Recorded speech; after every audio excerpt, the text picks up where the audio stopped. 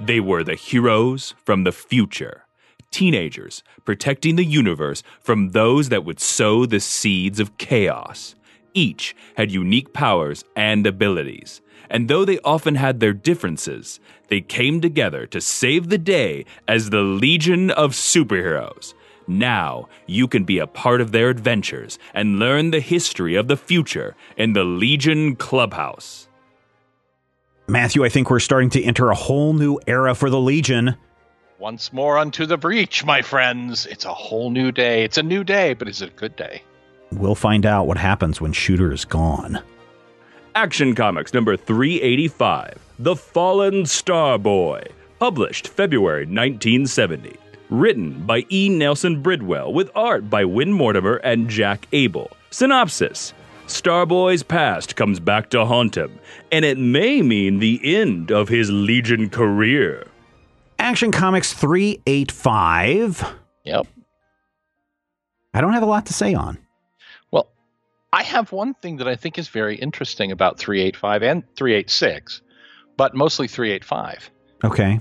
So, Action 385, and we are well and truly, everyone who's listening regularly, hello, future people, uh, future future people, because this is a Legion book, uh, knows that right now Legion is a backup story in Action Comics, with the Right. primary story being Adventures of Superman. Right. And for whatever reason, the main stories in the Superman book Superman's an old guy traveling around and trying to figure out how he's going to spend his retirement.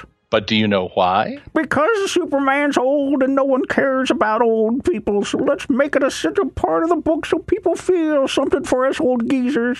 He was sent to the future on a mission, and it turns out that he was set up by someone who not only made it so that he aged when he went into the future, but locked him out from returning to the year 1970. And that person, wearing a purple bed sheet, is our well known Legion baddie bad bad, the Time Trapper. Oh, okay. So it does make sense to read some of those issues, but my God, I was just like, I don't need this. I It's think not. this is actually a three issue arc of Old Man Superman.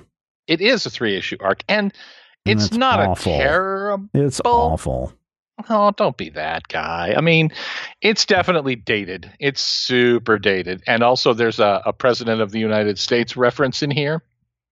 Oh, and yeah. it's The, uh, 1970. so that president of the United States, I think, Is Nixon. is Nixon. Yeah. Ugh.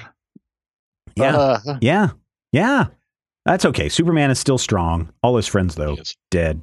Dead for a long time. Superman, we need you to go into the future. And they I need you to help me find a body, Superman. and they uh, they ran out of black ink, so that's why they had to cover color uh, Superman's hair gray.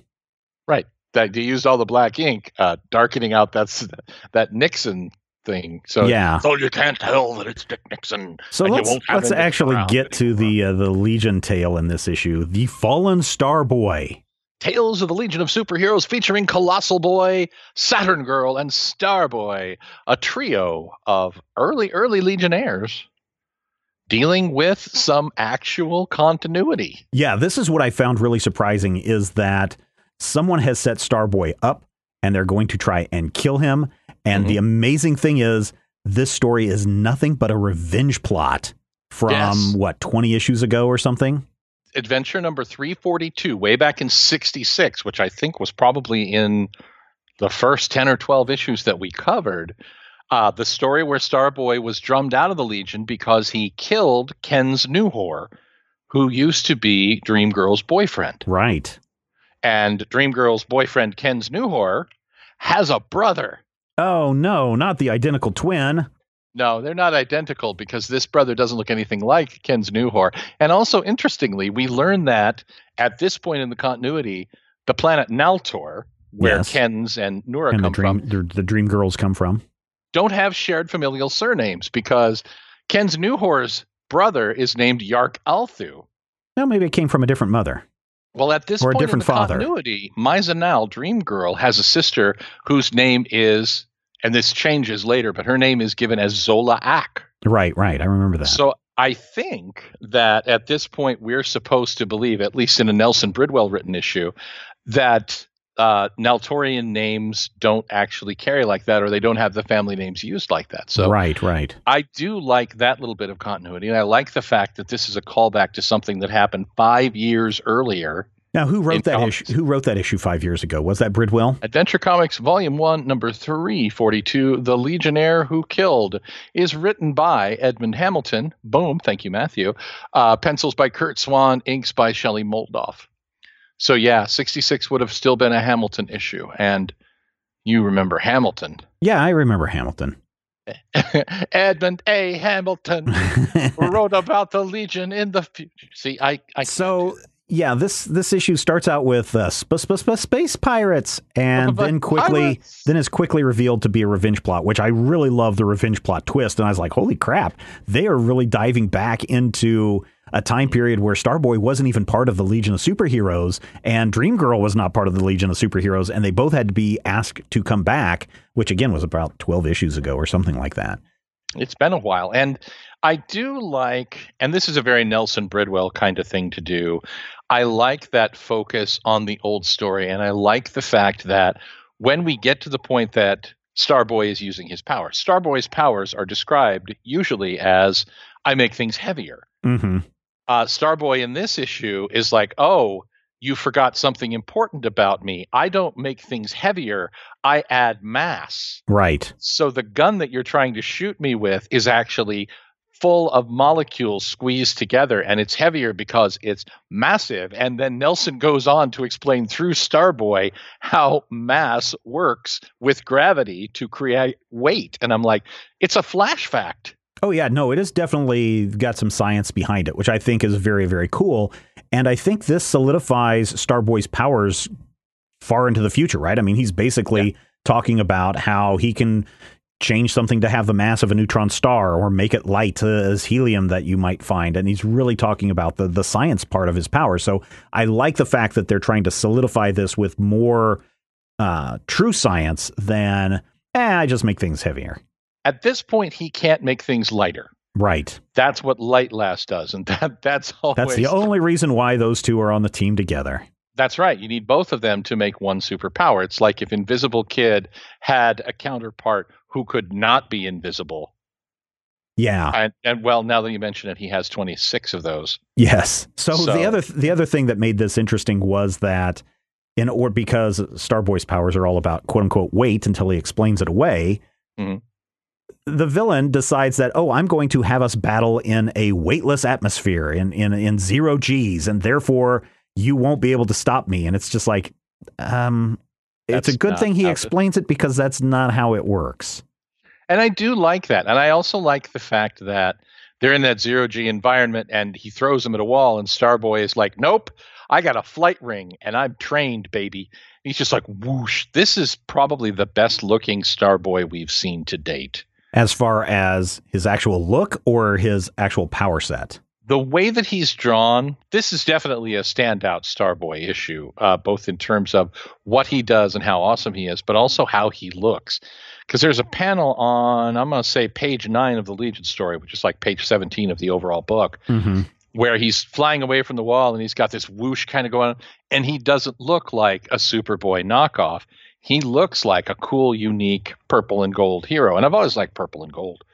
So yeah, this is a really strong issue just as a Starboy show off. But you know what else it has? What? Has a little bit of action. It little has bit a of little bit of action. I mean, it, it does have a lot of action in here because the team does have to take on these space, space, space, space pirates. Uh, they do have to deal with these characters, these villains that are able to counteract their powers, such as uh, anti telepathy helmets.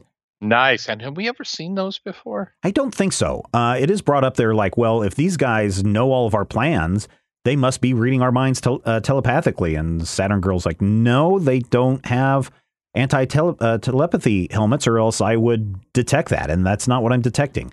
And they have some things to take care of Colossal Boy by going through downtown and, at rush hour. And he's like, oh, I can't step on these people. They look like ants. Uh, you know, and again, it's one of those examples of someone taking those powers and taking them to the logical extreme, the things that would happen if you were really that big. you might step on an overpass if you were Yeah. Colossal Boy. Yep.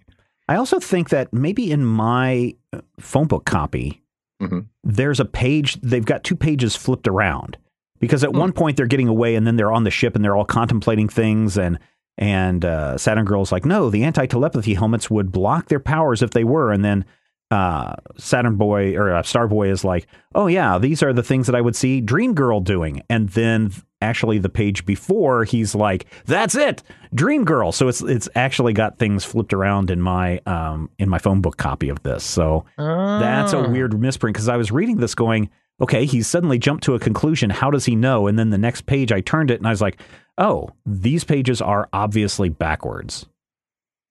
That and I don't know if and I don't know if that's the way it was in the original. I mean, they're numbered six, five, and six, right, but, but they're presented backwards. yeah, they're presented backwards, That which is is, I think that's just an error on somebody's part. So Yeah, I think it's a reprint error.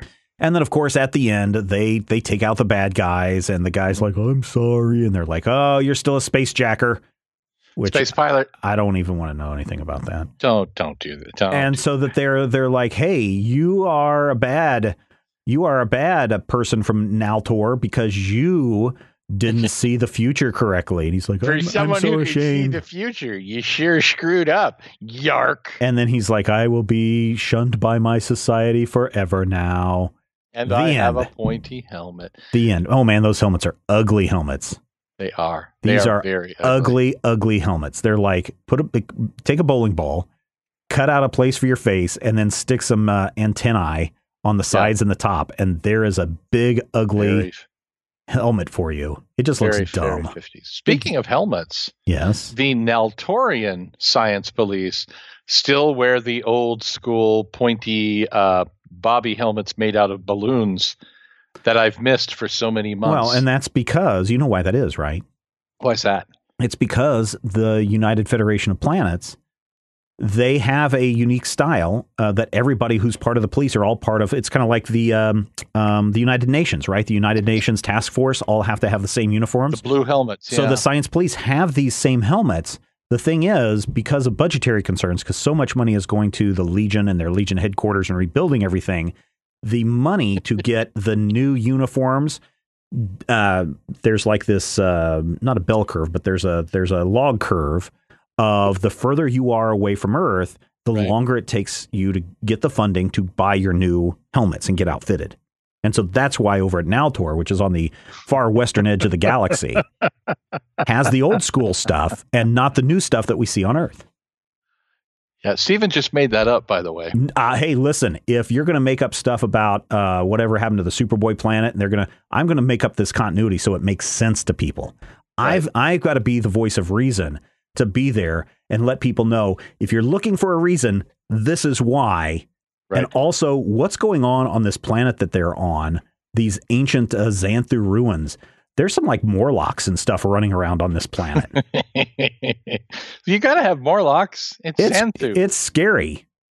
It kind of is. And, you know, you're not the only one making stuff up in this issue just to explain away something that's weird. Because in the letters column, Uh huh. they actually refer to, we talked about this when we talked about Action 381, the hapless hero, the matter eater lad uh, who lives Mhm. in a bad side of town story. hmm Uh, Duplicate Boy used to be called Ord Quelu. Right. This is where they. Yeah. This is. Is this the origin of that? Uh, names don't matter. Say them frontwards, backwards, or upside yeah, down. Yeah, this is the point where this one actually is an early version of it where, uh, well, they called him Quaid Orlu, which is it? And he's like, oh, and the other one, uh, Violet just misspoke. Right. So they actually blamed it on an in character error on the part of the Legionnaire, which I think is pretty awesome. yeah. Yeah. Yeah. It's very, very, very fascinating.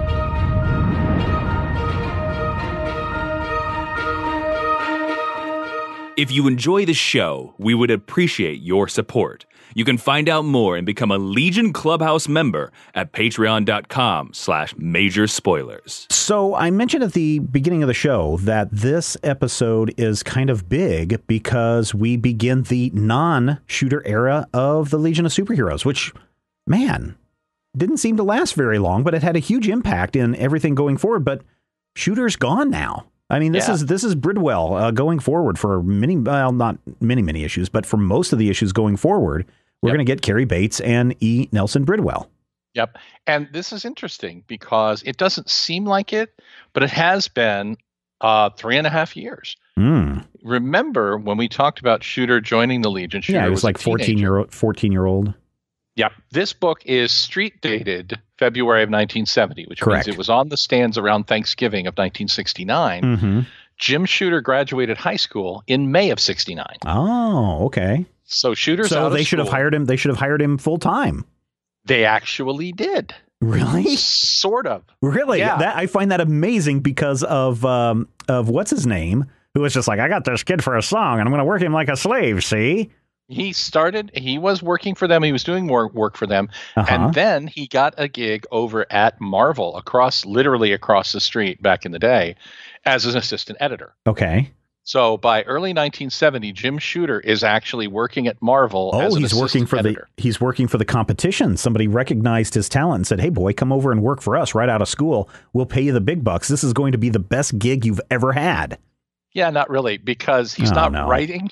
Oh no. He's he's an assistant editor, and basically for about three or four years, Jim Shooter went to Marvel and did grunt work. And around 1974, Jim Shooter retired from the comics industry. Gasp. Now, here's the thing I will say. Mhm. I know a lot of people think that when they graduate from a high school or from a college or get a degree in whatever that they've got or a certificate, that they're going to go out and they're going to get the top job. They're going to go walk into a place and say, I'm the greatest. You should hire me to redesign your entire video game system, or you should hire me because I'm going to come in and correct all the mistakes that you're making. And Mhm. often a lot of graduates are upset because they are given, I don't want to say mailroom stuff, but they are hired to work as assistants. They are hired to Yeah. work as uh, assistant to an assistant or whatever it may be. And an the problem is, level gig. yeah, and the problem is it's not the company saying, yeah, right, kid, shut up and do what Hmm. we say, although sometimes it is that.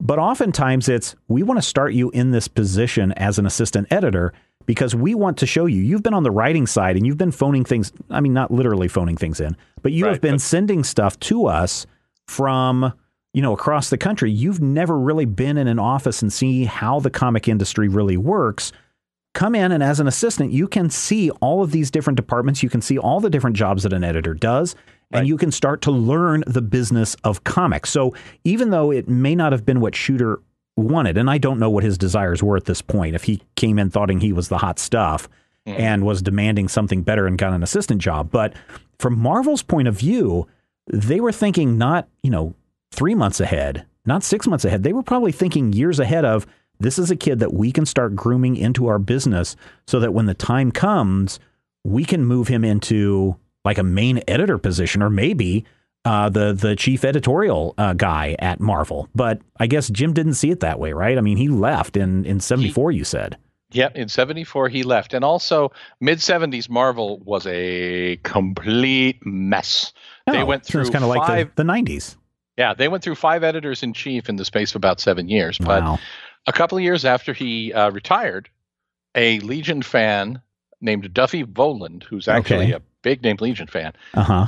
tracked him down for an interview and they were like, Hey, Jim Shooter, you wrote some really great stuff. What are you doing now? He's like, I'm managing a chicken shack in Philadelphia. Um, I don't know what type of restaurant it was, but Jim had actually, you know, he was managing a store.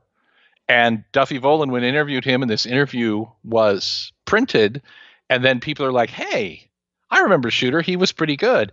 For some way or another, he ended up back at DC in 75 and 76, writing Legion again. So down the line, you know, maybe 15, 20, 35, 50 episodes from now, we're going to be talking Shooter again. But here's here's the best part. Mm-hmm. Are you ready? Yeah.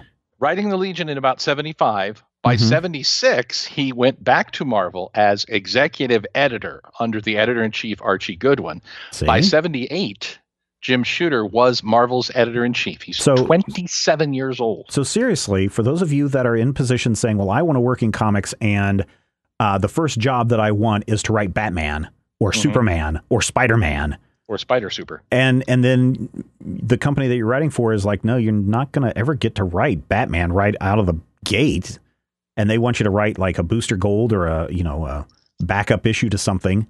It's because they want you to feel how their system operates. They want you to work up through the system. I don't know of anyone except for Brian Michael Bendis, but even Bendis, you know, he went from Marvel to writing a- action comics and Superman over at DC. But if you go back into the archives, Bendis wrote like backup issues stuff. Yeah. You know, Bendis decades decades ago. comics for years before Yeah. he even got to the big two. Yes. So it, they want you to go and do other things. And if you're good, then eventually you could come up to Batman. So I think that's a lesson that in the comics industry, in the video production industry, really in any industry, Mhm. don't expect to, the day that you graduate from high school or college, to walk in and say, uh, I'm, I'm here to apply for the executive uh, management job at this McDonald's because I'm totally got ideas to totally change how things are done here because they'll say, "Yeah, there's the, the there's the fryer over there. Get to work." Uh, because it's you just are not ready for that, and it, it does take time to build up to that. So have a little patience. I know everybody is like eager to just get out there, but I think if everyone takes a little patience and learns from Jim Shooter that Yep. they started you in the assistant editor position so that you could be editor in chief. What a not ten years later, something like that. Uh, Five, eight six years yeah, later. five or six years later. I think that's a probably a good a good plan and something to kind of pay attention to. Yeah, and until Joe Quesada, Jim was the longest tenured editor in chief in Marvel Comics history. Action Comics number 386 Zap Goes the Legion. Published March 1970. Written by E. Nelson Bridwell with art by Win Mortimer and Jack Abel. Synopsis How does the Legion fight a man who can counter every one of their superpowers? 386 More Adventures of Old Man Superman. And- I'm old. I'm cranky. Where's my Super Muslax? Okay, don't even joke about Super Mucilix, sir. That's not funny. uh, but interesting. Oh, hit a little too close to home. Shut up. we talked about Time Trapper last issue, or last uh, first half of this episode. Right. We talked about Time Trapper. Right. This issue shows me something that I've never seen before. The Time Trapper's face. No, Time Trapper normally is a man in a hooded hood, Right. right? This Time Trapper is wearing this cowled assemblage that looks for all the world like Archie Comics Fox around Mhm. 2017 Mhm. with big floppy ears. Yes. It looks it's weird. the and it, it's already a man in a purple bed sheet. And Superman is not merely old; he's on a planet of old heroes. Like, he's on retirement planet. I used to be Electro Man, and I used to be Green Lantern. Yeah, that, that Time Trapper outfit is just disgustingly horrible. Uh, Is he supposed to be? I don't know. He's like, I remember Batman. I'm going to model my stuff after him. But yeah, Old Man Planet, just pass. but backup story: Tales of the Back Legion of up Superheroes. story Tales of the Legion of Superheroes. Oh boy, this is going to be fascinating. This is going to be exciting. This is going to feature criminals again, as we talked about in the previous issue. This is going to feature criminals that longtime readers of this series will recognize. And we also see how the penal system deals with uh, problem criminals or career criminals or these, what is, what's the, uh, not psychotic criminals. No, what's the one where it's like you're a, not a career criminal, but you have a mental thing that compels you to compulsive criminal. maybe it's a compulsive criminal, right? So we see that uh, these characters are put into something called the uh, the prism chamber, and these prisms dance around your head and they hypnotize you into removing all of your evil intentions, so that you Criminal will never urges. you will never have criminal urges again. And the first thing that I thought of when I saw these crystals whizzing around this uh, big brute's uh, face is that, you know, Doc Savage had a way of dealing with the criminal mind, and that was to stick a big knitting needle right up into your nose and swirl it around a little bit. This is Doc Savage. He had special knitting needles made. And if people are, are thinking that I'm being joking and facetious here, I am not. Doc Savage, who was a, a golden age pulp hero, Mhm. he would take these criminals that he didn't think could be reformed uh, easily through regular jail time, and he would send them to the Doc Savage Institute in upstate New York. And there they would co- go under, and I'm, I'm going to paraphrase here, a medical procedure that cut off the portion of their brain that caused them to do criminal things. And years later, it's basically revealed that Doc Savage was performing lobotomies Mhm. on criminals so that they would be dull, be calmed down so they wouldn't have those urges or have that criminal intent, essentially lobotomizing people. No, li- literally lobotomizing people. Yep. And that was seen as okay. And when you learn that about Doc Savage, I, at, and I learned this probably about, because I only started reading Doc Savage in the early 80s. It probably it took me till about freshman in college before I was like, wait a minute. And then some people were starting to write more about Doc Savage and we realize, oh no, this is lobotomy. This is he was not a good person, Doc Savage. No. And I kind of have a feeling that if you're going to try to hypnotize people or remove the criminal intent from people, right, or make them not habitual criminals, that somehow somebody's going to figure out, out a way to get around that and it's going to backfire on your butts big time. And that actually does happen in this issue because a criminal named Uli Algor put a pin in that. That's Lily important. Al Gore, huh? That name sounds f- uh, sounds familiar. Oh yeah, Uli, Uli. Al Gore. That sound that Uli. name sounds familiar. yeah, she. Uh, you may remember her from uh, such episodes as Action 379, just a few issues ago, like uh, less than ten issues ago. Yep. And the fascinating part about that is that in this issue, she finds a way or found a way before she even got into prison to inoculate herself from all light based forms of hypnotism. Right. That's the way her powers work is that she, uh, light doesn't affect her. She's immunized against all light powers. So these yeah. prisms are not affecting her. So she sits in the chair. She sees the criminal go in ahead of her, and the guy's like, "Oh, I'm sorry. I will never commit a crime again." And they're like, "Okay, good day. Here's twenty bucks and a and a bus fare." And she's like, "Oh, all I have to do is act like this guy and." You know, denounce my past criminal activities, and they're just going to let me walk. And sure enough, that's exactly what happens. And as soon as she gets out of prison, she uh, doesn't even go and see a movie. She doesn't even go and check in with her parole officer. Nope, she puts on pink uh, leather or maybe it's pleather in the future. No, it's leather. She puts on a, a pink pleather outfit. Vegan leather. vegan leather. And she goes and tracks down the three founding members of the Legion of Superheroes. So we've got Cosmic Boy, Lightning mm-hmm. Lad, and Saturn Girl, and Night Girl. Don't and Night Girl. The only way, the only thing is, it feels really weird because it's like here you've got three of the most important characters in the Legion of Superheroes, and you have Night Girl. But then you have to think she's in, totally in love with Cosmic Boy. So at this point, yes. are they having a relationship at this point? Yes, we are deep in the love story episodes of the Legion. And Night Girl is here solely because of her long term crush on Cosmic Boy and their developing relationship. The next time we see them, uh, is actually during the Mike Grell super naked period of the Legion. So it yeah. seems like they like each other more than they do. But yes, Night Girl is here solely because she's dating Cosmic Boy, and Nelson Bridwell remembers a story where that totally happened months and months and months ago, y'all. Yeah. So Uli, Uli, whose new crime is vandalism, with her push button belt. She has the power to counteract or essentially counteract everyone's uh, superpowers. Yes. So she gives Saturn Girl these horrific mental horrors. Yep. Uh, Night Girl uh, flips down an alley and says, I'm going to hide in the dark and become the most powerful person in the universe. And then Uli is like, uh uh uh, and blinds her with a big flash of light. Lightning Lad has been drained of his energy or something, and they have to put him in a in a in a glass coffin his brain has been short circuited or something. And then Cosmic Boy had every bone in his body broken, and so he's he's put in a, a full body cast. Yep, repelled by his own magnetic powers, but it's okay. It's the future. He'll be good in a couple of days. And so they have to go and track down Uli. And in fact, she's like, hey, I'm going to challenge all you Legionnaires. I can take you all down at once. And Brainiac's like, okay, fine. Let's meet. Let's go to the uh, to the junk planet, which yep, I'm guessing asteroid is Talus. Yes, I, am sure that this one has shown up a million times from here on out. Sort of. Um, this is its only appearance in the pre-crisis Legion, but see, see what I during, mean?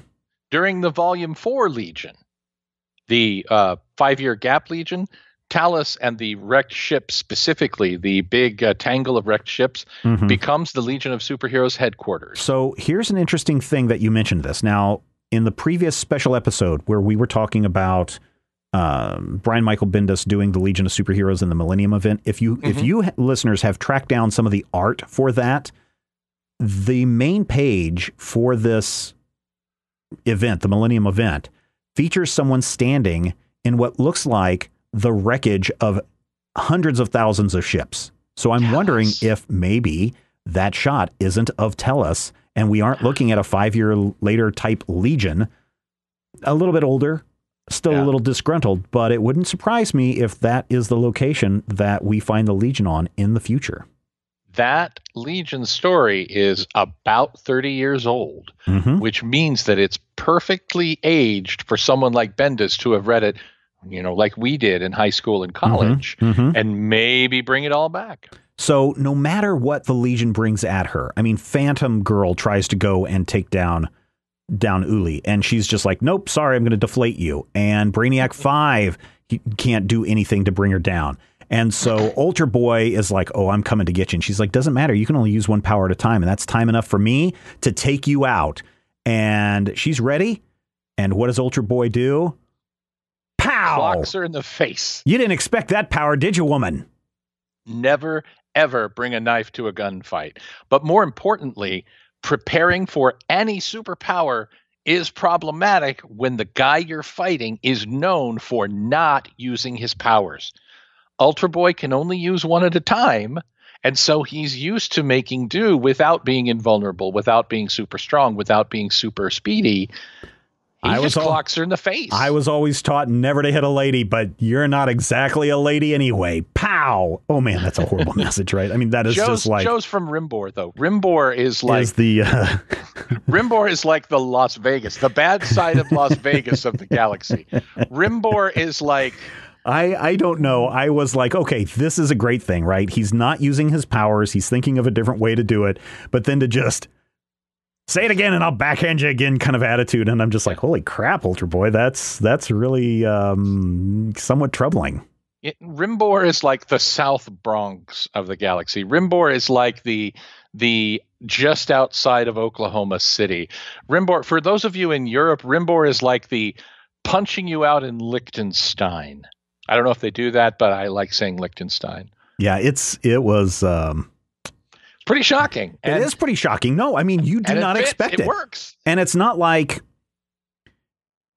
I think hmm, I think that there was probably a better way you could have drawn that, but this is like full on the punch has been finished. Yeah, he's Uli's crossed. head- I mean, it is a big right cross, and she's going. Oh yeah, her neck is snapped back and she is off of her feet flying back and you can tell she's definitely knocked out and it is just like, "Oh my god, that is like some major I mean, it's a fight. She's a villain. I understand that. It's the times, but smack a lady, okay. Well, it's the future. Remember, all people are equal, including women who have push button belts. Sure. And, you know, from a, even if you look at this in a 60s perspective, the, the page previous, Joe's fiance got zapped with her Zappy Kablamicus. yes. So, I mean, this girl kind of earned her punch in the face. I mean, I'm not saying it's not deserved. Oh, I'm no. just saying it is super shocking. And I do like I mean, you do see they- even today. You do see characters. A Clint Eastwood is probably a good example of what's going on here with Ultra Boy, uh, especially if you have seen the Gauntlet. Especially if you Mm-hmm. have seen, uh, probably the Gauntlet is the best example because he is going to track down essentially a woman who has skipped out, not skipped out on bail, but she's missing and she has to get to the courthouse uh, in order to testify against these horrible people. And he's not above punching a woman, uh, Clint Eastwood, in some of these movies. And I'm not saying Clint Eastwood is a real person. I'm saying uh, Clint Eastwood as a character uh, in Callahan movies. or whoever he's Yeah, yeah, whoever he is is not above punching a woman. And it feels like Ultra Boy is is uh, personifying that late '60s, early '70s uh, male attitude towards women who had it coming to them. Well, they do set it up well early in the story with the Legionnaires watching some sort of weird documentary about the the 20th century hmm and seeing a 1910 fist fight and commenting about, oh, boxing was outlawed centuries ago. Oh, this is so terrible. Let's watch intently. It's terribly entertaining. And I'm just like, okay. But it's at, what they're watching is an actual boxing match from Right. 1910. which I find fascinating as well because they're watching it live from 1910. They're The not 3D time scope. Yeah, they're not they're not watching, you know, an old film footage. They've actually there's some technology that has traveled back into the past so people can go to this 3D time scope show and watch something as it's happening on July 4th, 1910. Yep, which is That is uh, kind of terrifying. that is super weird.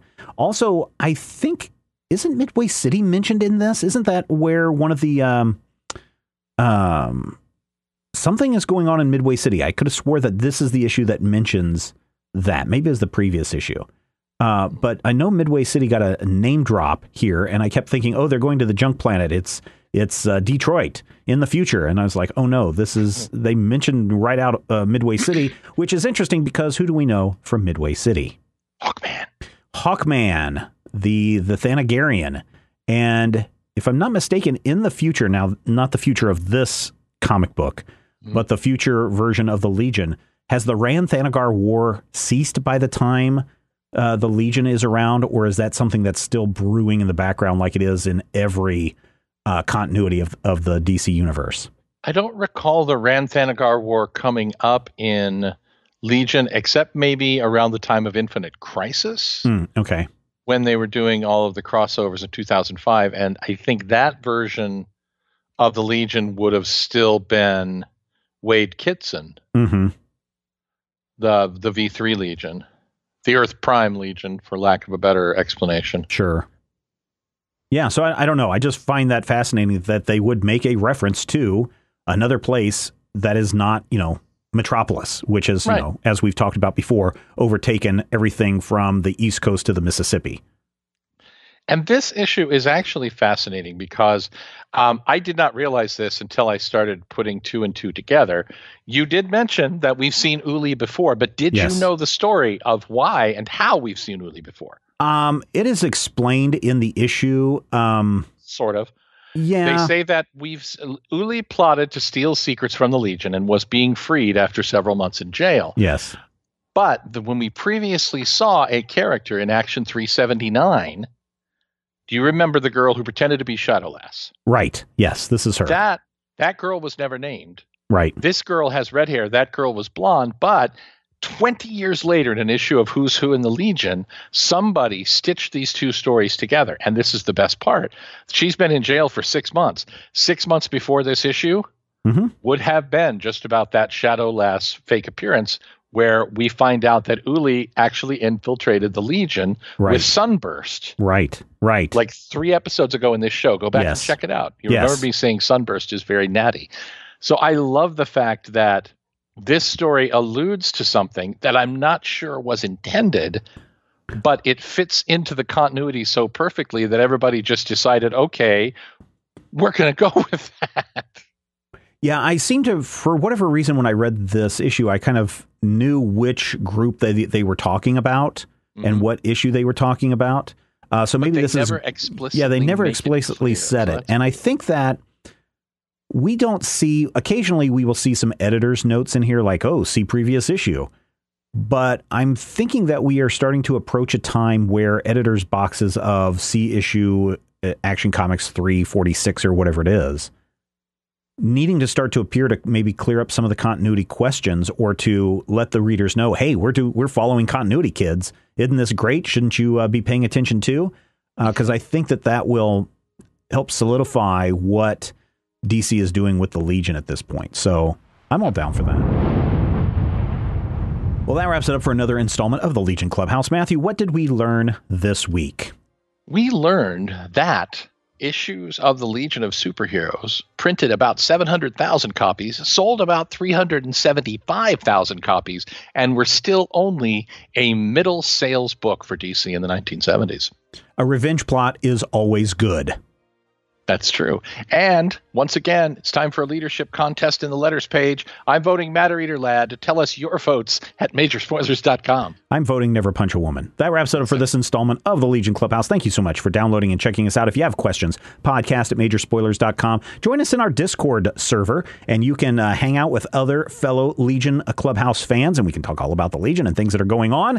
And be on the lookout for our special episode for the new Brian Michael Bendis uh, series coming out soon in September. We will have that for you. If you would like to support this channel and make sure that we continue to uh, release new episodes all the way through September, help us out by heading to patreon.com slash major spoilers.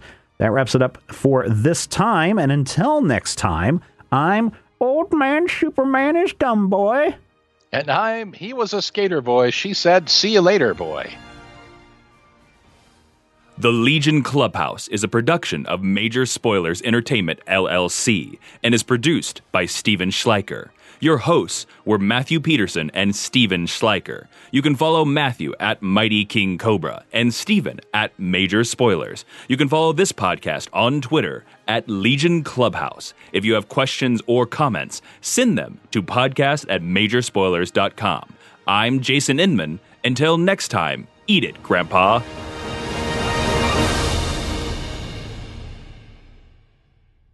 This podcast is copyright 2019 by Major Spoilers Entertainment, LLC.